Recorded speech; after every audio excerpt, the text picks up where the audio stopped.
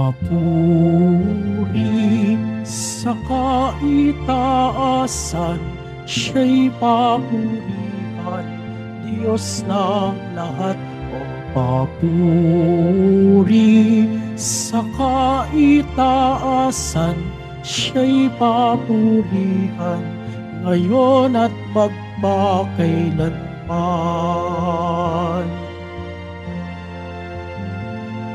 Umawit ang daigdigan, lahat ng naroon. Umawit ang sangkatauhan, purihin ang Panginoon.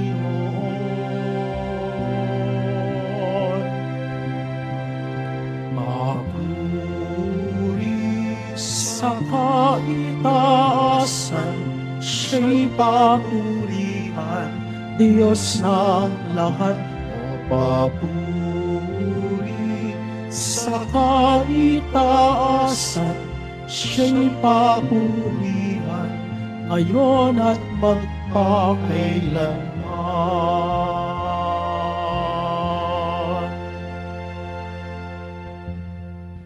Simulan po natin ang pagdiriwang sa ngalan ng Ama at ng Anak at ng Espiritu Santo. Amen. Ang pagpapala ng ating Panginoong Yeso Kristo, ang pag-ibig ng Diyos Ama at ang pakikipagkaisa ng Espiritu Santo naway sumainyong lahat. At sumaiyo rin. Mga kapatid, tayo pong lahat ay nagkakatipon bilang isang mag-anak ng Diyos sa pagdiriwang ng banal na Eukaristiya. At upang tayo po ay maging karapat dapat gumanap sa banal na pagdiriwang na ito, alalahanin po natin ang ating mga pagkukulang at nagawang pagkakasala at buong kababaang loob po tayong humiling ng awa at pagpapatawad mula sa Diyos.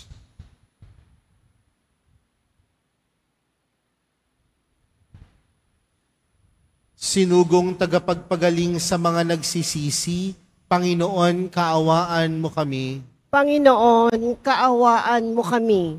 Dumating na tagapag-anyayang mga makasalanan ay magsisi, Kristo, kaawaan mo kami. Kristo, kaawaan mo kami. Nakaluklok ka sa kanan ng Diyos Ama para ipamagitan kami. Panginoon, kaawaan mo kami. Panginoon, kaawaan mo kami. Kaawaan tayo ng makapangyarihang Diyos, patawarin tayo sa ating mga kasalanan, at patnubayan tayo sa buhay na walang hanggan. Amen. Manalangin tayo. Ama naming makapangyarihan, pinuspos mo ng iyong karunungan at ng lakas na likas sa iyong sugo ang Papa na si San Pio upang kanyang patatagin ang pananampalatayang katoliko at pagkaisahin ng tanan kay Kristo sa pagsunod sa itinuro niya at ipinakitang halimbawa. Ipagkaloob mong makamtan namin ang walang, ma- walang maliw na gantimpala sa pamagitan ni Yesu Kristo kasama ng Espiritu Santo magpa sa walang hanggan. Amen. Magsiupo muna po ang lahat. Pagbasa mula sa aklat ni Propeta Ezekiel. Sinabi sa akin ng Panginoon, Tao, magpahayag ka laban sa mga pinuno ng Israel. Sabihin mong ipinasasabi ko, Nakatakda na ang parusa sa inyo, mga pinuno ng Israel. Sarili ninyo ang inyong iniintindi at hindi ang mga tupa. Iniinom ninyo ang gatas, nagdaramit kayo ng lana, nagpapatay ng mga pinatabang hayop, ngunit hindi nyo pinakakain ang mga tupa. Bakit hindi ninyo pinalalakas ang mahihina, ni ginagamot ang mga may sakit, ni hinihilot ang mga pilay? Bakit hindi ninyo hinahanap ang nawawala, ni ibinabalik ang nalalayo? Sa halip ay ginagamitan ninyo sila ng kamay na bakal. Sila'y nangangalat at nilalapa ng mababangis na hayop pagkat walang pastol. Ang mga tupa ko'y nagkalat sa mga bundok, burol at sa lahat ng panig ng daigdig. Ngunit walang ibig humanap sa kanila. Dahil dito mga pinuno, dingginin niyo ang aking sinasabi. Ako ang Diyos na buhay. Ang mga tupa ko'y pinipinsala at nilalapa ng mababangis na hayop pagkat walang nangangalaga. Hindi hinahanap ng mga pastol ang aking mga tupa. Sa halip na alagaan nila ang mga ito, ang sarili nila ang binubusog. Kaya nga, makinig kayo, mga pastol. Pakinggan ninyo itong aking sinasabi. Laban ako sa inyo. Pananagutan ninyo ang nangyayari sa aking mga tupa. Hindi ko na kayo gagawing pastol upang hindi na ninyo mabusog ang inyong sarili. Ilalayo ko sa inyo ang aking mga tupa at hindi na ninyo mapakikinabangan ang mga ito. Ito ang ipinasasabi ng Panginoon. Ako mismo ang maghahanap at mag-aalaga sa aking mga tupa. Ang salita ng Diyos. Salamat sa Diyos. Pastol ko'y Panginoong Diyos, hindi ako magdarahop. Pastol ko'y Panginoong Diyos, hindi ako magdarahop. Pangino'y aking pastol, hindi ako magkukulang. Ako'y pinahihimlay sa mainom na pastulan at inaakay niya ako sa tahimik na batisan. Binibigyan niya ako niyong bagong kalakasan. Pastol, pastol ko'y Panginoong Diyos, hindi ako magdarahop. At sangayon sa pangako na kanyang binitiwan, sa matuwid na landasin doon ako'y inaakay. Kahit na ang daan niyo'y tumatak sa karimlan, hindi ako matatakot pagkat ikay kaagapay. Ang tungkod mo at pamalo, ang gabay ko at sanggalang. Pastol ko'y Panginoong Diyos, hindi ako magdarahop. Sa harapan ng lingkod mo, ikaw ay may handang dulang. Ito'y iyong ginagawang nakikita ng kaaway. Nalulugod ka sa akin na ulo ko ay langisan, at pati na ang kalis ko ay iyong pinaapaw. Pastol ko'y Panginoong Diyos, hindi ako magdarahop. Tunay ang pag-ibig mo at ang iyong kabutihan. Sasaakit tataglayin habang ako'y nabubuhay. Doon ako sa templo mo, lalagi at mananahan. Pastol ko'y Panginoong Diyos, hindi ako magdarahop. Magsitayo na po ang lahat.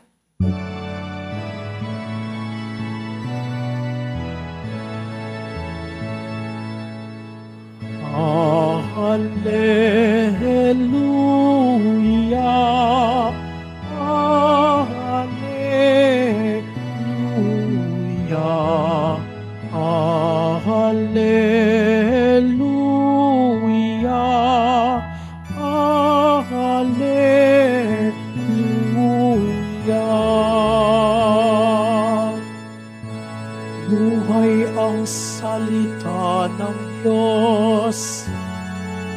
Ganap nitong natatalos.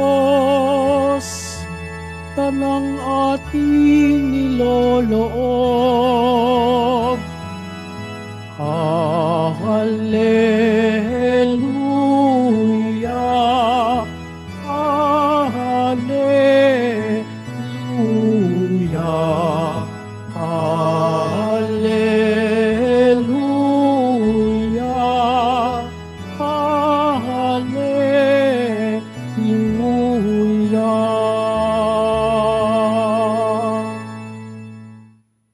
Sumainyo ang Panginoon. At sumaiyo rin. Ang mabuting balita ng Panginoon ayon kay San Mateo.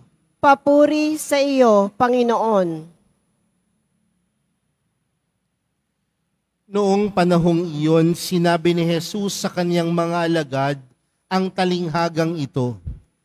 Ang paghahari ng Diyos ay katulad nito. Lumabas ng umagang-umagang may-ari ng ubasan upang humanap ng mga manggagawa. Nang magkasundo na sila sa upa ng isang denaryo maghapon, sila'y pinapunta niya sa kanyang ubasan. Lumabas siya muli ng magkiki- mag-iikasyam ng umaga at nakakita siya ng iba pang tatayo-tayo lamang sa liwasang bayan. Sinabi niya sa kanila, Pumaroon din kayo at magtrabaho sa aking ubasan at bibigyan ko kayo ng karampatang upa. At pumaroon nga sila. Lumabas na naman siya ng mag-ikalabindalawa ng tanghali at ng mag-ikatlo ng hapon at gayon din ang ginawa niya. Nang mag-ikalima ng hapon, siya'y lumabas uli at nakakita pa ng mga ibang wala ring ginagawa. Sinabi niya sa kanila, Bakit kayo tatayo-tayo lamang dito sa buong maghapon? Wala pong magbigay sa amin ng trabaho eh. Sagot nila. At sinabi niya, Kung gayon, pumaroon kayo at gumawa sa aking ubasan. Pagtatakip silim, sinabi ng may-ari ng ubasan sa kanyang katiwala, Tawagin mo na ang mga manggagawa at sila'y upahan, magmula sa huli hanggang sa unang nagtrabaho. Ang mga nagsimula ng mag-iikalima ng hapon ay tumanggap ng tigi-isang denaryo. At nang lumapit ang mga nauna, inakala nilang tatanggap sila ng higit doon. Ngunit ang bawat isa'y tumanggap din ng isang denaryo. Pagkatanggap nito, nagreklamo sila sa may-ari ng ubasan. Sabi nila, isang oras lang pong gumawa ang mga huling dumating. Samantalang maghapon kaming nagpagal at nagtiis ng nakapapasong init ng araw. Bakit naman po ninyo pinagpare-pareho ang upas sa amin? At sinabi niya sa isa sa kanila, Kaibigan, hindi kita dinadaya, hindi pat nagkasundo tayo sa isang denaryo. Kunin mo ang ganang iyo at umalis ka na. Maano kung ibig kong upahan ng nahuli ng tulad ng upa ko sa iyo? Wala ba akong karapatang gawin ang aking maibigan sa aking ari-arian ko? O naiinggit ka lang sa aking kabutihang loob? Kaya't ang nahuli mauna at ang nauuna ay mahuhuli.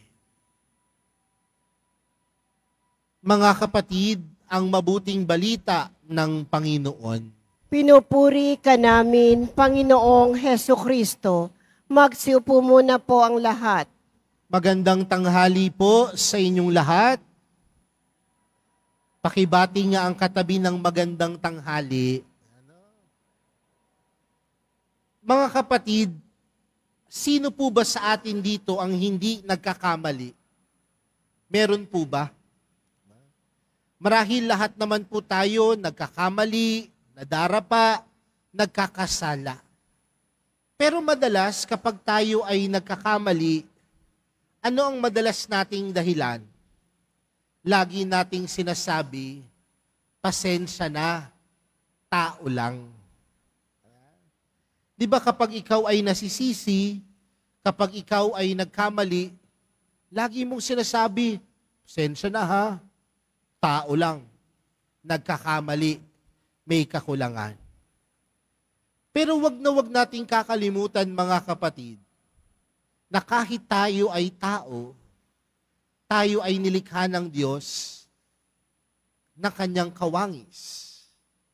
Nangangahulugan na may taglay na kabutihan, may taglay na kagandahan dahil tayo ay nilikha ng Diyos may kakulangan man, pero huwag kakalimutan na ang bawat isa sa atin ay nilikha ng Diyos.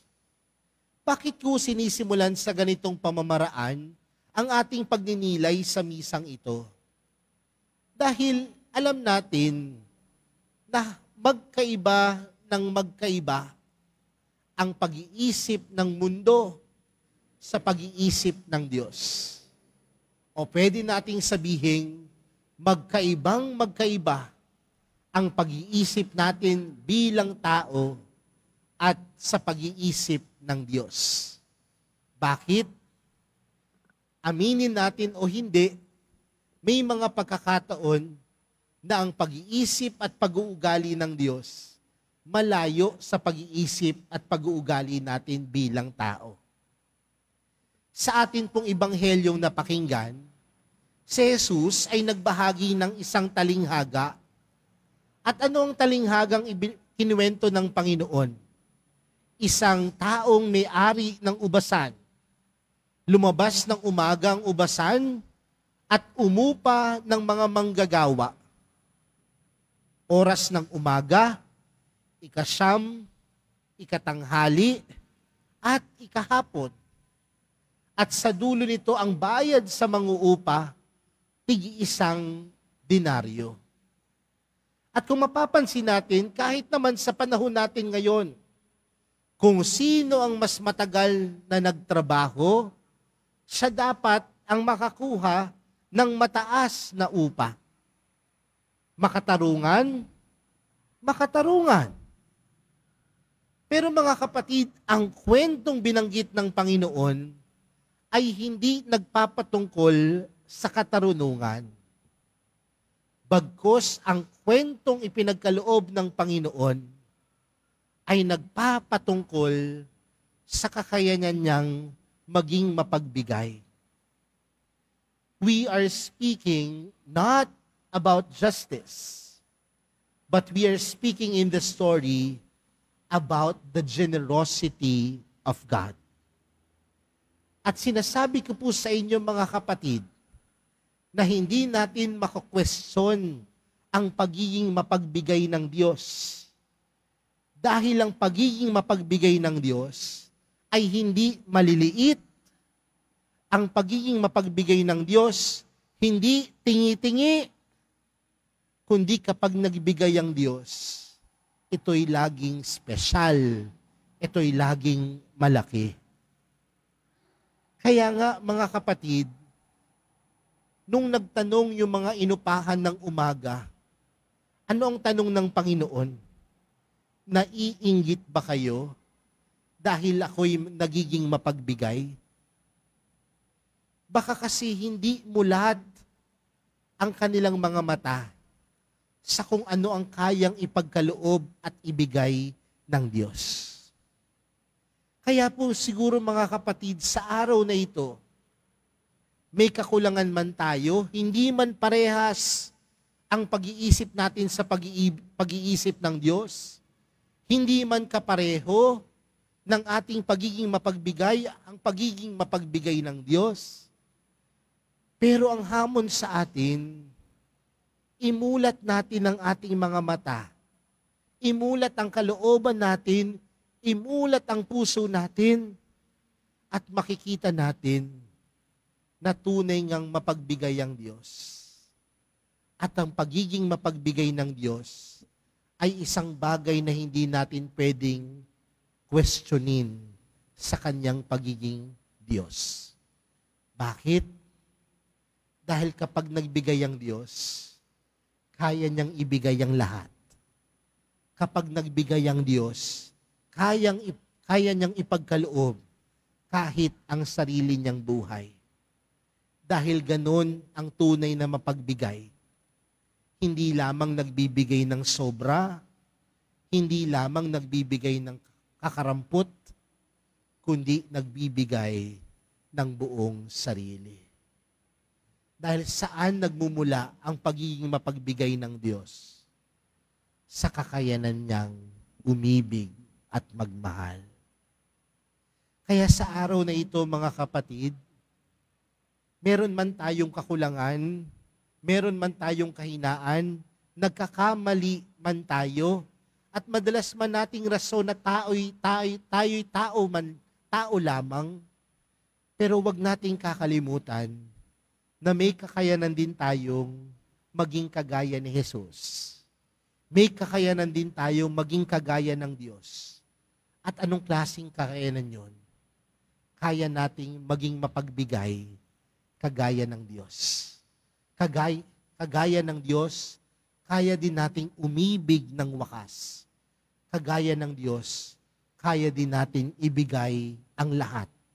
Hindi lang para sa Diyos, kundi para sa ating kapwa.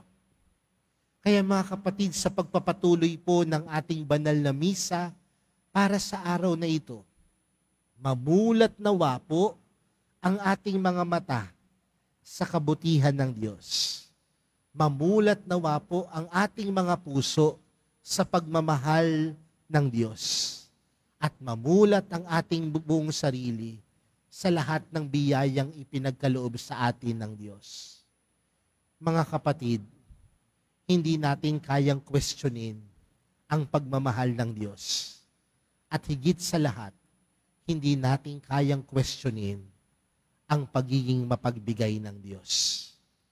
Kaya patuloy tayong manalangin na ang Diyos ay patuloy ding sumaatin. Patuloy din nating ipanalangin na kagaya ng Diyos, kagaya ni Jesus, tayo din ay maging mapagbigay. Amen.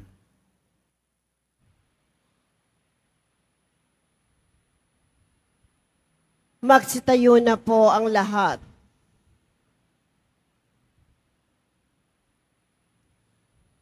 Minamahal kong mga kapatid, ang pamamaraan ng Diyos ay hindi tulad ng sa atin. Dahil ang kanyang katarungan at kagandahang loob ay higit pa sa ating turing at sukat. Lumapit tayo sa Kanya habang nananalig na pakikinggan niya tayo at hindi bibiguin. Ang ating panalangin, Ama, sumaami nawa ang iyong kagandahang loob. Ama, sumaamin nawa ang iyong kagandahang loob. ang simbahan sa pamamagitan ng kanyang mga misyonero at tagapagpahayag naway maipalaganap ang ebanghelyo ng Panginoon ng may katapangan at pagtitiyaga. Manalangin tayo. Ama, sumaami nawa ang iyong kagandahang loob. Tayo naway makapaglingkod sa Panginoon at sa isa't isa nang walang hinihintay na merito at gantimpala. At sa halip, gawin lamang ito ng may kabutihan mula sa ating mga puso. Manalangin tayo. Ama, sumaamin nawa ang iyong kagandahang loob. Ang mga walang trabaho, naway dagling makatagpo ng kanilang hanap buhay. Manalangin tayo. Ama, sumaamin nawa ang iyong kagandahang loob. Ang mga may sakit at mga nagdurusa, naway masiyahan sa kalinga at unawa ng kanilang pamilya at mga kaibigan. Manalangin tayo. Ama, sumaamin nawa ang iyong kagandahang loob. ang mga nagtiyagang mamuhay ng mabuti sa mundong ito at na mayapa naway makatanggap ng gantimpala sa makalangit na kaharian ng Diyos. Manalangin tayo. Ama, sumaamin nawa ang iyong kagandahang loob. Panginoon naming Diyos, mapagpakumbaba kaming naglilingkod sa iyo sa abot ng aming makakaya na walang hinihinging kapalit.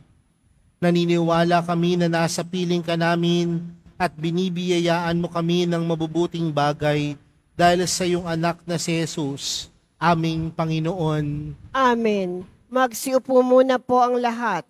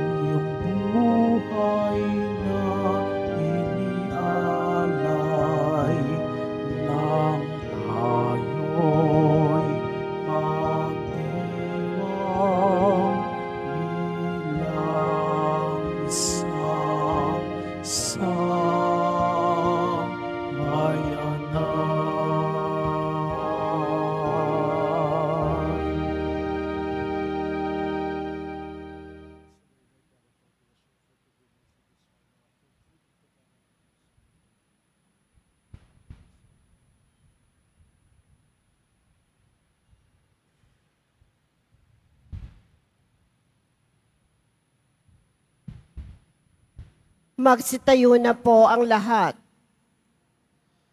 Manalangin po kayo mga kapatid upang ang paghahain natin ay kalugdan ng Diyos amang makapangyarihan. Tanggapin nawa ng Panginoon itong paghahain sa iyong mga kamay, sa kapurihan niya at karangalan, sa ating kapakinabangan at sa buong sambayanan niyang banal. Ama naming lumikha, sa iyong pagpapaunlak na tanggapin ang aming paghahain, lubin mong kaming nagdiriwang ng may pagtalima sa tagubilin ni Papa San Pio, ay taimtim na makaganap at makapakinabang ng wagas sa pamagitan ni Heso Kristo kasama ng Espiritu Santo magpa sa walang hanggan. Amen. Sumainyo ang Panginoon. At sumaiyo rin, Itaas sa Diyos ang inyong puso at diwa. Itinaas na namin sa Panginoon. Pasalamatan natin ang Panginoong ating Diyos. Marapat na siya ay pasalamatan. Ama naming makapangyarihan, tunay niyang marapat na ikaw ay aming pasalamatan sa pamamagitan ni Yeso Kristo na aming Panginoon. Ngayong si Papa San Pio ay pinararangalan sa pumumuhay niyang totoong uliran at pagiging maasahan sa panunungkulan.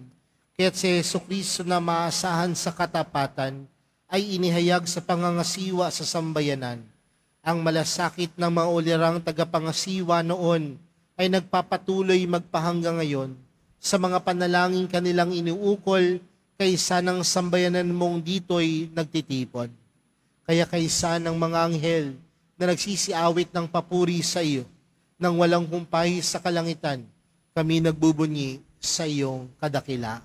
Santo, Santo, Santo, Panginoong Diyos ng mga hukbo, napupuno ang langit at lupa ng kadakilaan mo.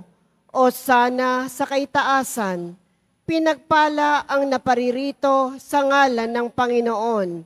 O sana sa kaitaasan, magsiluhod po ang lahat. Ama naming banal, ikaw ang bukal ng tanang kabanalan. Kaya't sa pamagitan ng iyong Espiritu, gawin mong banal ang kaloob na ito upang para sa aming maging katawan at dugo ng aming Panginoong Heso Kristo.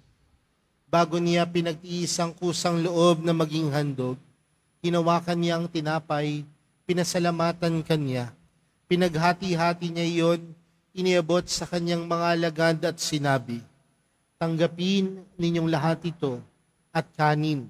Ito ang aking katawan na ihahandog para sa inyo.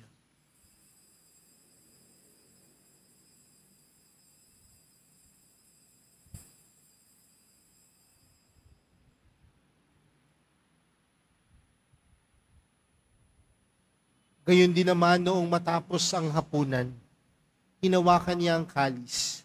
Muli kanyang pinasalamatan. Iniabot niya ang kalis sa kanyang mga alagad at sinabi, Tanggapin ninyong lahat ito at inumin.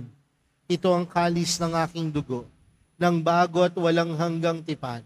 Ang aking dugo na ibubuhos para sa inyo at para sa lahat sa ikapagpapatawad ng mga kasalanan. Gawin niyo ito sa pag-alala sa akin.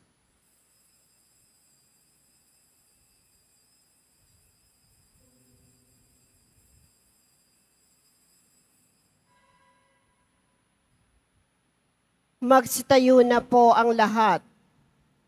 Ipagbunyi natin ang misteryo ng pananampalataya. Si Kristo'y namatay, si Kristo'y nabuhay, si Kristo'y babalik sa wakas ng panahon. Ama, ginagawa namin ngayon ang pag-alala sa pagkamatay at muling pagkabuhay ng iyong anak. Kaya't inaalay namin sa iyo ang tinapay na nagbibigay buhay at ang kalis na nagkakaloob ng kaligtasan. Kami nagpapasalamat dahil kami iyong minarapat na tumayo sa harap mo para maglingkod sa iyo. Isinasamo namin kami magsasalo-salo sa katawan at dugo ni Kristo ay mabuklod sa pagkakaisa sa pamamagitan ng Espiritu Santo. Ama, lingapin mo ang iyong simbahang laganap sa buong daigdig. Puspusin mo kami sa pag-ibig kay San Francisco na aming Papa at ni Jose na aming Obispo at ng Tanang Kaparian. Alalahanin mo rin ang mga kapatid naming nahimlay nang may pag-asang sila'y muling mabubuhay, gayon din ang lahat ng mga pumanaw. Kaawaan mo sila at kaawaan mo sila at patuloyin sa iyong kaliwanagan. Kaawaan mo at pagindapating kaming lahat na makasalo sa iyong buhay na walang wakas.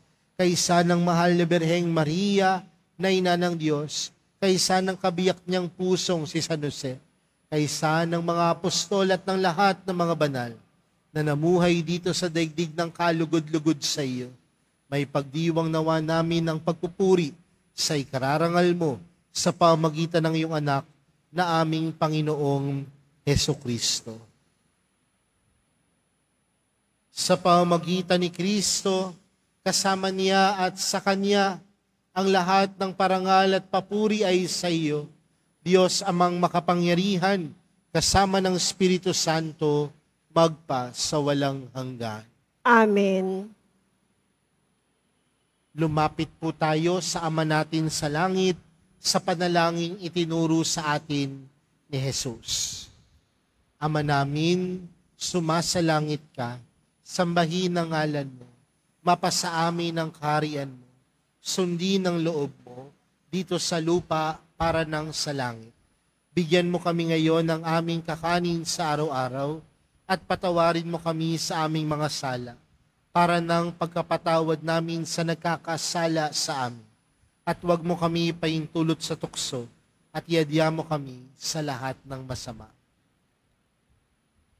Hinihiling po namin kami adya sa lahat ng masama, pagkalooban ng kapayapaan araw-araw, iligtas sa kasalanan at ilayo sa lahat ng kapahamakan, samantalang aming pinananabikan ang dakilang araw ng pagkapahayag ng tagapagligtas naming si Yeso Kristo.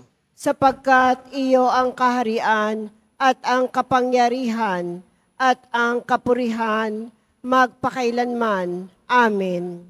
Panginoong Heso Kristo, sinabi mo sa iyong mga apostol, kapayapaan ang iniwan ko sa inyo. Ang aking kapayapaan ang ibinibigay ko sa inyo. Tunghayan mo ang aming pananampalataya at huwag ang aming pagkakasala. Pagkalooban mo kami ng kapayapaan at pagkakaisa ayon sa iyong kalooban, kasama ng Espiritu Santo, magpa sa walang hanggan. Amen. Ang kapayapaan ng Panginoon ay laging sumainyo. At sumaiyo rin. Magbigayan po kayo ng kapayapaan sa isa't isa.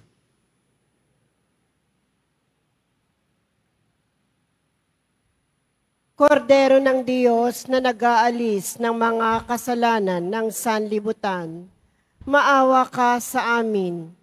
Kordero ng Diyos na nag-aalis ng mga kasalanan ng sanlibutan, maawa ka sa amin.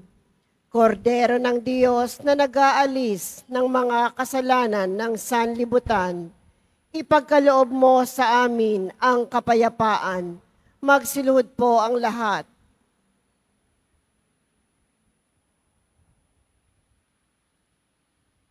Mga kapatid, narito po si Jesus, ang kordero ng Diyos. Siyang nag-aalis ng kasalanan ng sanlibutan. Mapalad ang mga inaanyayahan sa kanyang piging. Panginoon, Hindi hindi, ako karapat-dapat karapat-dapat na magpatuloy sa iyo. Ngunit Ngunit sa isang salita mo lamang ay gagaling na ako.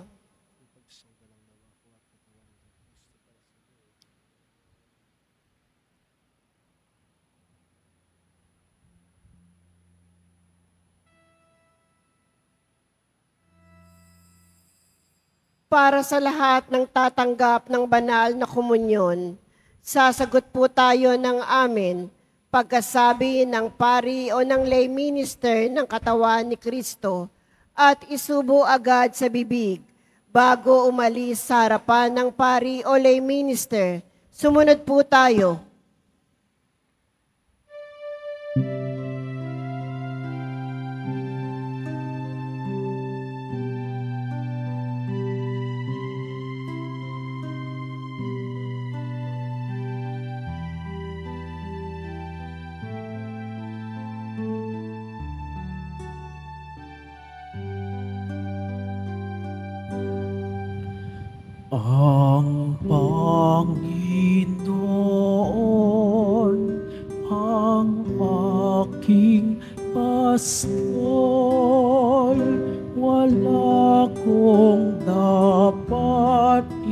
Ikapangamba. Anuman,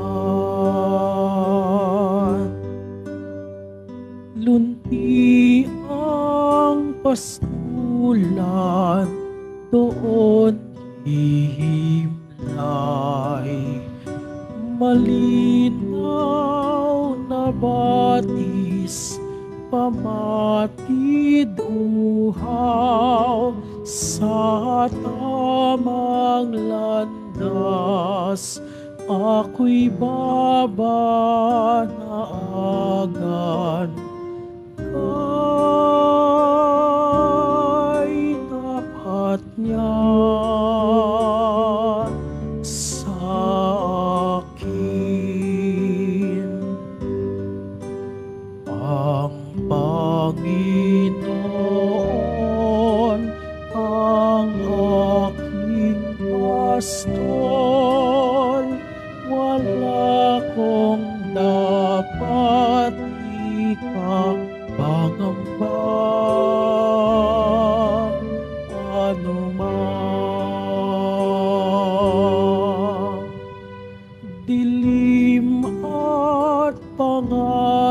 panganib, siya ang papawi.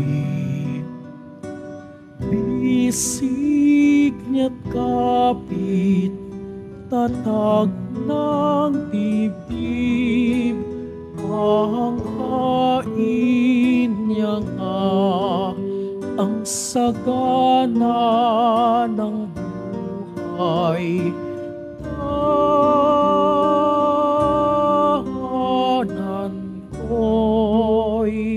Ko'y kaniyang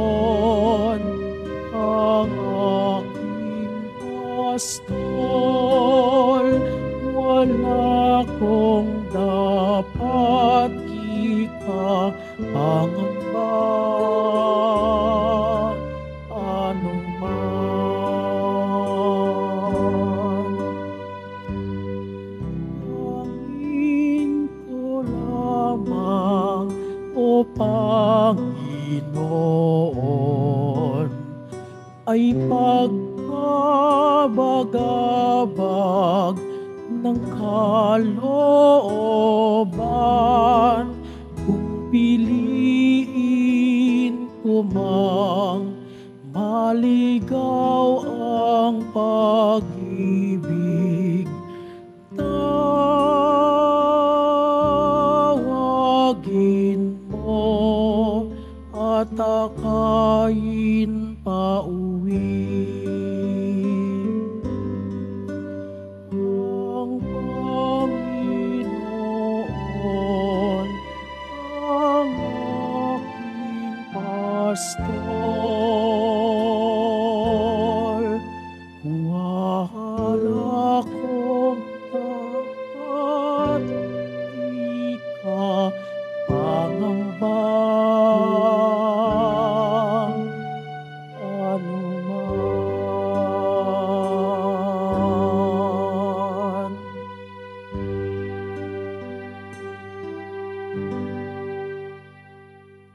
Announcement. Mga paalala sa mga nagsisimba. Pagkatapos ng misa, wiwisikan po ang lahat ng banal na tubig. Pinakikiusapan ng lahat na manatili lamang muna sa inyong mga lugar. Tanging sa Quezon Boulevard o sa Plaza San Juan lamang ang labasan ng lahat. Sumunod po tayo. Maraming salamat po sa inyong pagdalaw at pagsisimba sa Basilica Menor at Pambansang Dambana de Jesus Nazareno.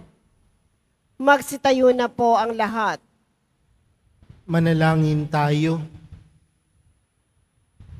Ama naming mapagmahal sa pagunita namin kay Papa San Pio, kami nagsalo-salo sa banal na hapag, ay magkaroon nawa ng pananampalatayang matatag at pagkakaisa sa pag-ibig mong matapat. Sa pamamagitan ni Yeso Kristo, kasama ng Espiritu Santo, magpa sa walang hanggan. Amen. Sumainyo ang Panginoon, At sumaiyo rin. mahal na pong Jesus Nazareno. Inihayag mo sa pamamagitan ng krus ang walang maliw na pag-ibig ng Diyos sa sangkatauhan. Pakinggan mo ang kailingan ng iyong kan na nagsusumamo sa iyo. Makamtanawa nila ang iyong katugunan at tanggapin ang kasagutan na may utang na loob na tinatanaw. Basbasan din po ninyo ang mga daladala nilang mga imahin at dasalan sa pamamagitan ng bendisyon na ito, naway maalala nilang mga pangako nila noon sa binyag, na ikaw ang kanilang iibigin at paglilingkuran bilang Panginoon, magpa sa walang hanggan. Amen. At pagpalain po kayong lahat ng makapangyarihang Diyos, Ama, Anak, at ng Espiritu Santo. Amen. Humayo po kayong taglayang kapayapaan ng pong Jesus Nazareno. Salamat sa Diyos.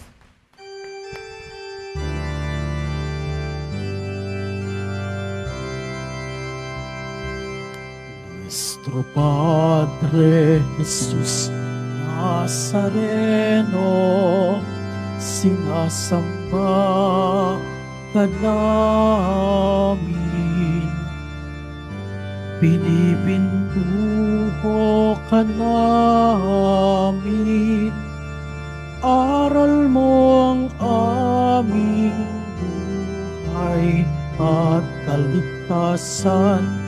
Nuestro Padre Jesus Nazareno, iligtas mo kami sa kasalanan.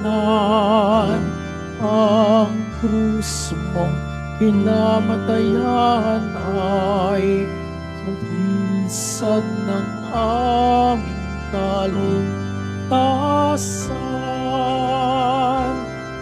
Nuestro Padre Jesus Nazareno, dinarangal ka namin.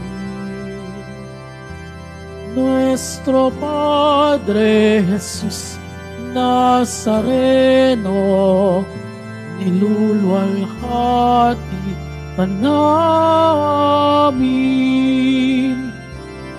Nuestro Padre Jesus Nazareno, dinarangal ka namin. Nuestro Padre Jesus Nazareno, niluluwalhati ka namin.